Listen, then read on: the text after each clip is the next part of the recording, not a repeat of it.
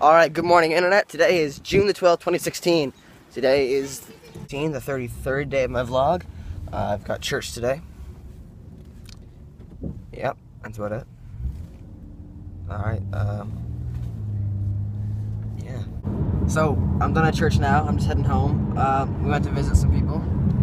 Elder, Elder Von Trapp. This guy. and so I'm heading home now. Uh, I'm gonna go to my grandparents' house today. It's my grandfather's birthday, so we have like a a party, I think, there. Party. And then yeah. I'll just edit. Okay, all right. So crazy story. So we're driving down the street. Actually, we're actually riding our bikes down the street, and some we hear some hooting and hollering. So we look up to our to our left, and there's this crazy lady, and she's like, "You've got a nice butt. Can I grab it?" And she just reaches out her hand and tries to grab my butt. So I had to swerve. It was pretty crazy. Charlottetown's got some cool people. Is she going for your butt too? No. Are you jealous? Uh, no, he can have her. Alright. You reap what you sow, because I squat. So.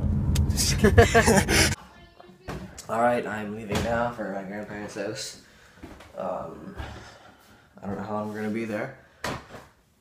But, yeah. Happy birthday. Thank you. How old are you today? Today, a little older than I was yesterday. Your real birthday was. No, the day before was was Friday, my yeah, I birthday, know, and I two know. days ago. I'm just happy, happy belated birthday. At my point, at my point in life, I'm just glad to be celebrating. You know?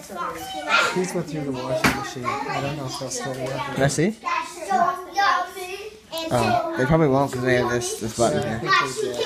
I'll see. Happy 92nd birthday. Oh, you thought I was Queen Elizabeth, did you? She got the tickets back. Yeah, I can tell by your your hair. I heard somebody on the radio today who was 101 years old. She sounded pretty coherent. That's what I wanted to do when I grow up. Be coherent. I'm not now. Alright, we're home now from the party. Um, I don't think I have anything else going on tonight though. So, yeah. Pretty late now. I'm gonna head to sleep. I got another exam tomorrow. Uh, applied sciences.